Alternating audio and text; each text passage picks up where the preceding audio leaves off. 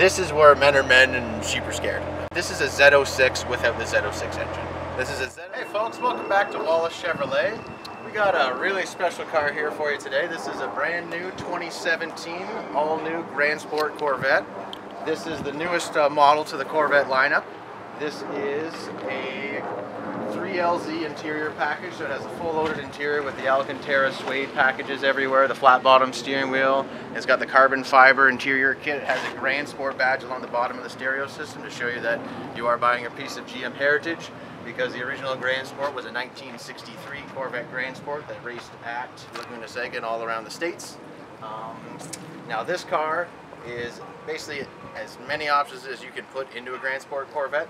So on the outside, you not only have the Grand Sport kit, you also have the Z07 package on the Grand Sport kit.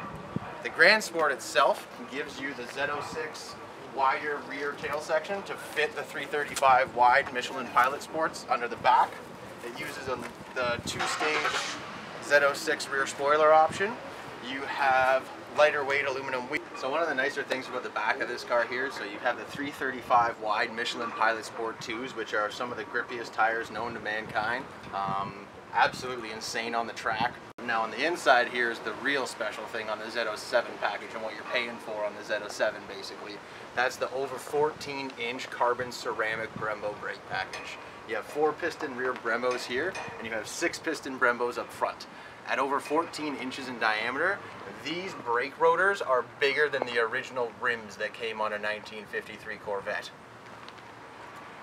On the inside here, you can see the nice Corvette sill plates down the side. You got your power seats in there, memory seats, heated, cooled seats. You got heads-up display. Behind the seats, there's a carbon fiber section, just mainly just to look cool, because that just looks awesome. Now, getting to the front of the car, you have the bigger vents, a lot like out of the Z06 Corvette, but with the Grand Sport insignia here instead of the Z06 badge. And then up front you have 285 wide tires, which are some of the biggest tires ever put on the front of the car. We even tilted the wheel on it so you can see how much tread you're getting on the front of this car. The tires on the front of this car are wider than the tires on the back of an SS Camaro. Now up front you have an LED signature on the headlamps, and everything on this car works. Everything's functional. All the vents you see on the front end are functional. Every air that comes in through here and here feed both brake ducts, or it comes out through here, comes out through the hood to act like you're getting a splitter on the front of the car to give you more downforce when you're at higher speeds.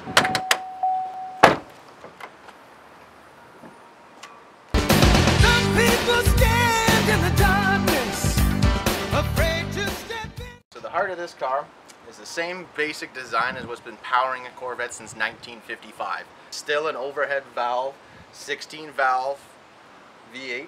It's a 6.2 liter, 376 cubic inches for those who prefer cubic inches to liters of displacement. Puts out 460 horsepower and 460 foot-pounds of torque with the dual modes exhaust on it.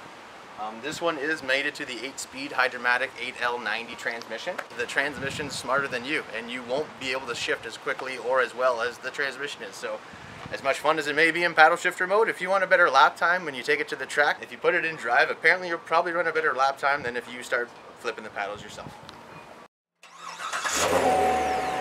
Now when you first start up the car, it's in tour mode, so the exhaust isn't as loud as it can be, because with the dual mode exhaust, the exhaust is linked to your traction control setup. So even though your exhaust system is tied to the performance traction management system, so when you set it up in tour, sport, and track, it will get progressively louder as you go along those modes. If you want to drive around in tour mode with your suspension a little bit softer and everything like that and the shift's not as firm and the steering a little bit softer and stuff like that, all you have to do is go into your settings here and then go into drive mode and then go to engine sound management and if you go all the way down to track it'll pull on the track mode for the exhaust system and then this car sounds like you want it to.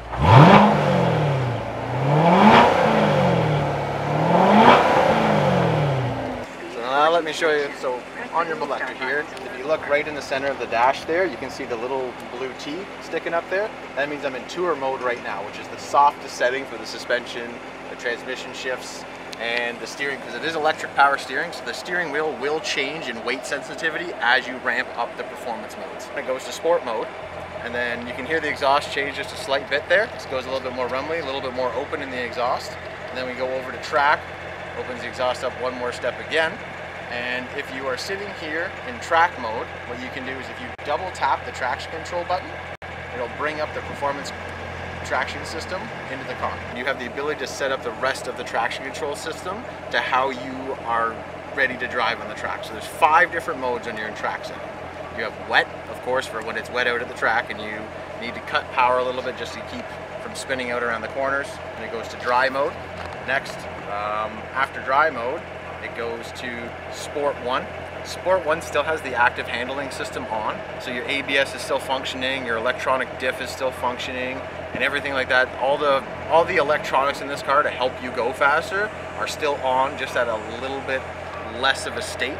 If I go up to Sport 2, it takes basically everything off the car. The ABS is almost non-existent. Your electronic diff is sending mostly 50-50 power to the rear wheels. It's not necessarily going to adjust power to each rear wheel in the cornering to give you the perfect amount of power to not spin out. And then there is full race mode, which is for everybody who's a track hero and really wants to drive this car like they could have driven a 1963 Grand Sport around the track.